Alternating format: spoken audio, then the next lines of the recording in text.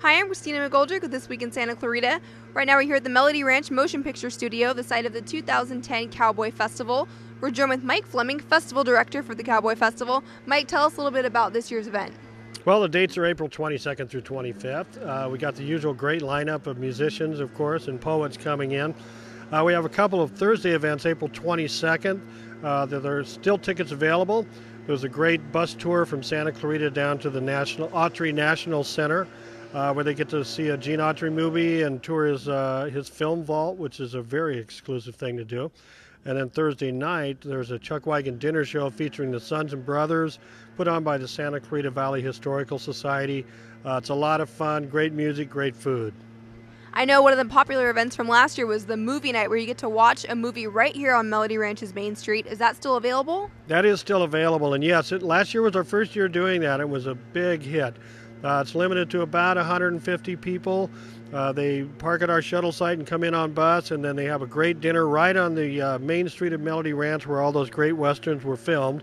And this year we're going to be uh, featuring High Noon, the movie High Noon going to have some people uh, talking about that film beforehand and then showing it. So, yes, there's still tickets available for that.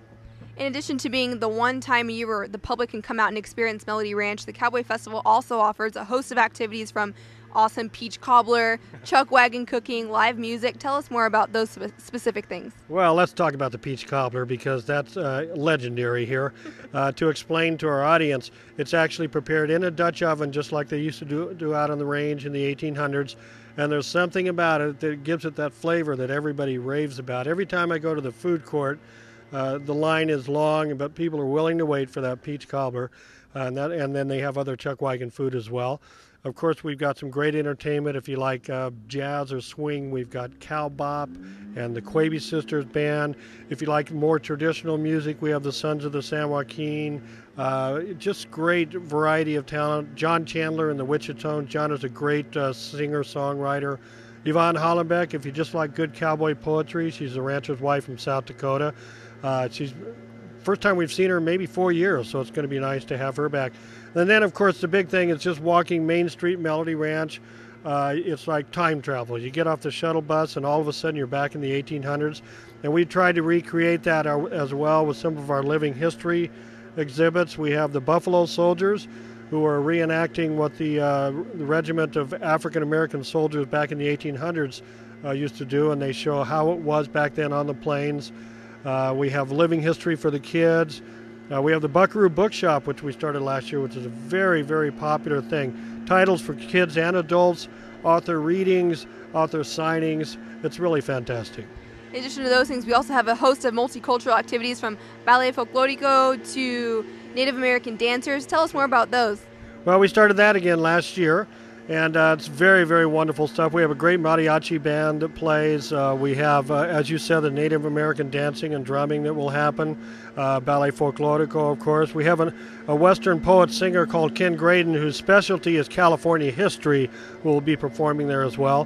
One of our more popular acts last year that performed there We'll be doing one show there and then several shows in the California Music Hall.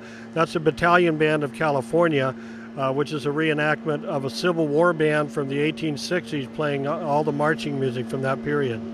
Definitely two days chock full of events at the festival and then some great leading events leading up to the festival. Thank you so much for joining us, Mike. My pleasure. We hope to see everybody out there. Well, there you have it, the Santa Clarita Cowboy Festival kicking off right here at Melody Ranch April 24th and 25th, with additional events taking place across Santa Clarita in the days leading up to the festival. For more information, visit cowboyfestival.org.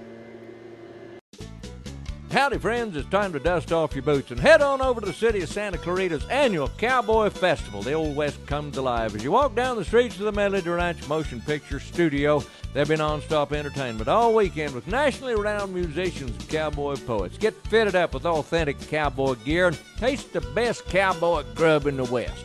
So come on out to the historic Melody Ranch Motion Picture Studio in the rustic hills of Santa Clarita.